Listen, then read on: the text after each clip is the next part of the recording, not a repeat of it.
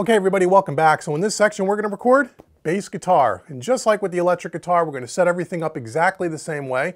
And we're also gonna use the same plugin that we used before, Ampire, because it's not only great for guitar simulation, but it also has a nice bass amp preset in there as well. So I'm gonna show you how to do that now and refresh your memory in case you did not see the last section. So let me put the bass down here.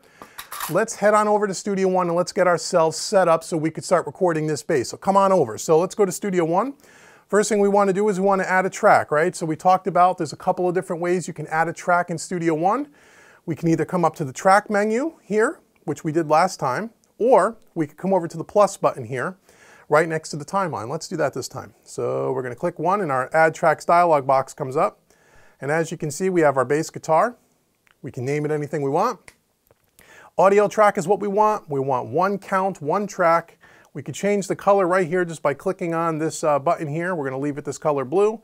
We want it to be a mono track. We want preset to be no preset at this particular time. And we're gonna use input one because that's where we're plugged in on our audio interface, right? And then we also wanna make sure the output is set to main. So go ahead and click OK, and now we have our bass guitar track as you can see here. Now we want to make sure that we add Ampire to this track. So if you open up this uh, the sidebar here, there's little two hash marks next to the fader cap. We're going to go to our browser and we're going to drag Ampire under the effects tab right into our bass track. And just like last time, it's going to pop up on the screen and there's a great preset if you click on the default here, the drop down arrow, go all the way to the bottom, Zatz Basser I think it's called, there it is. And here's our bass amp sim. Sounds great, okay? Uh, we're gonna choose the cabinet here. Right now it's set as the default as a 2, 2 by 10 bass cabinet. We're gonna do an 8 by 10 because why not? We could do that, right? So let's go ahead and let's choose all the way down here, 8 by 10 Want that big bass sound. Now, just like with the guitar, as I said, you can tweak this amp to your heart's content, and then you could save it as your own preset. That's the best way to do it. So the next time you go to use it, you got your sound, right? So again, the way to do that, in case you forgot, is you come on over here to this uh, little icon next to the, to the power switch on the top of the left-hand side of the plugin and click Store Preset. And we can call this whatever we want. We can call it Dave Bass, right? And then we hit OK. And now if we go to our drop-down menu for our presets, you'll see it's in alphabetical order, and you'll see where it says David's preset. That was the last section when we did the electric guitar. Now I have one called Dave's Bass, okay? So now we have a bass, which is really cool. So what we're going to do now, we'll close that for a second here and we'll, we'll shrink down the track. Now we want to make sure that we also turn on our speaker button, our monitor button on our track so we can hear in our headphones what our bass is doing through this bass plugin. And then we're going to hit record enable and we're going to go ahead and record this bass. But before we do record the bass, let's get the bass here and let's set our levels once again, like we did in the last section, to be about what? What did we say? Around a negative 12 dB, right? That's a kind of where we want to be.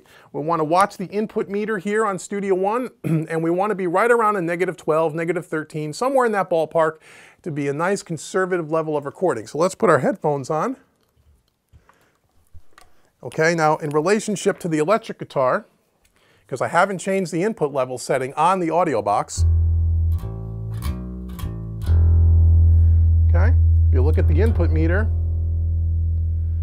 we're running around a negative 20, negative 21. That's too conservative. We want to raise up the level a little. So if you take your encoder and we turn it up four or five clicks, let's play it now.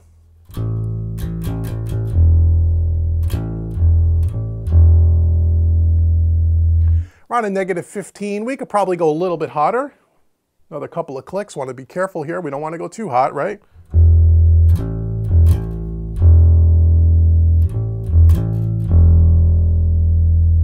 Around a negative 11 and a half, negative 13. We're in that ballpark. Good enough for rock and roll, as they say. So that's where we're going to kind of leave it. You can experiment with it, but again, just don't go above a negative 10. Stay in that negative 12 or so range. Okay, so now that we've done that, we're going to hit our record enable button here, and then we're going to hit record on our transport, and we're going to make sure uh, our song, our playhead is all the way back to the beginning of the song. And once again, you can hit the comma key on your keyboard or you could just use your transports controls. And now we're going to go ahead and we're going to try to record this bass part. So let's see what we can do.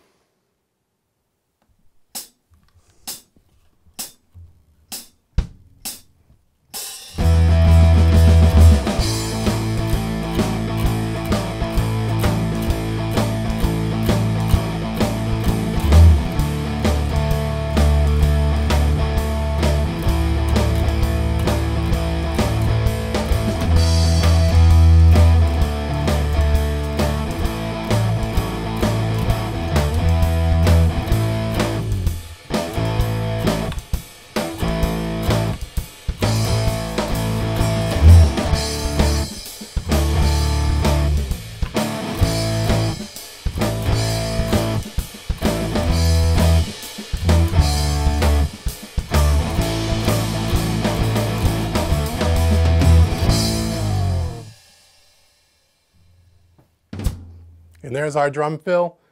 Space bar to stop the other recording. And now you could go ahead and we want to make sure that we um, actually uh, disengage the, uh, the record enable. We want to disengage the monitor button so we can actually play back and hear our bass performance.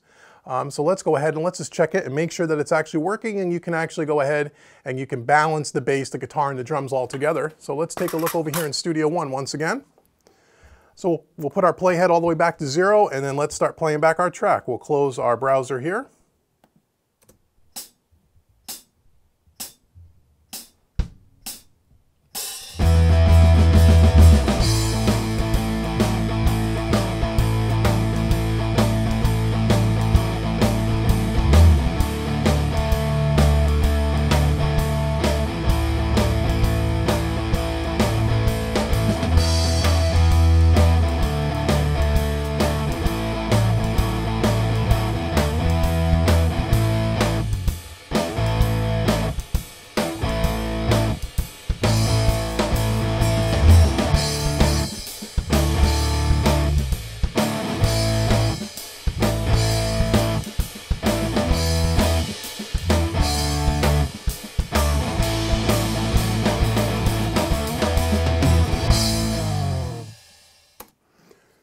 And there we go. So now we have a bass guitar track recorded. Again, not the best performance in the world, but go ahead and record your bass and go repeat the process over and over again until you're completely happy. And when you guys come back for the next section, what we're going to do now is we're going to record an acoustic guitar. We're going to use our great M7 microphone that came with our studio bundle package. I'm to show you how to mic up an acoustic guitar with a couple of different techniques to help you. And uh, we'll get an acoustic guitar rolling in this song here. So come on back for the next section.